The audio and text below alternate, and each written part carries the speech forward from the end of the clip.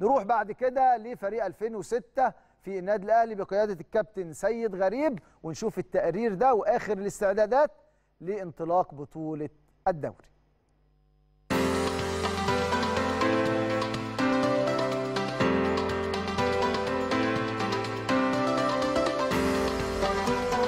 إحنا بنبص أصلا على الماتش على الشغل بتاعنا اللي هو طول الأسبوع.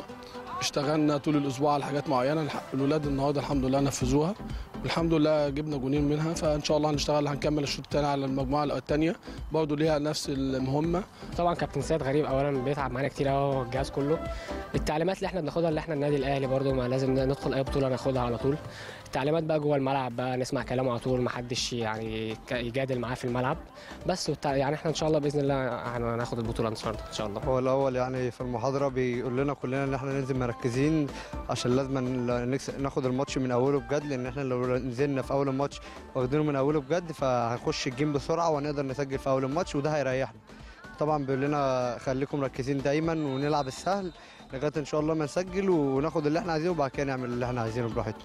والله يا كابتن سيد في المحاضرات أو قبل التمرين بيقول لنا على جمل معينة والالتزام وبنحاول نأديها على قد ما نقدر في الملعب.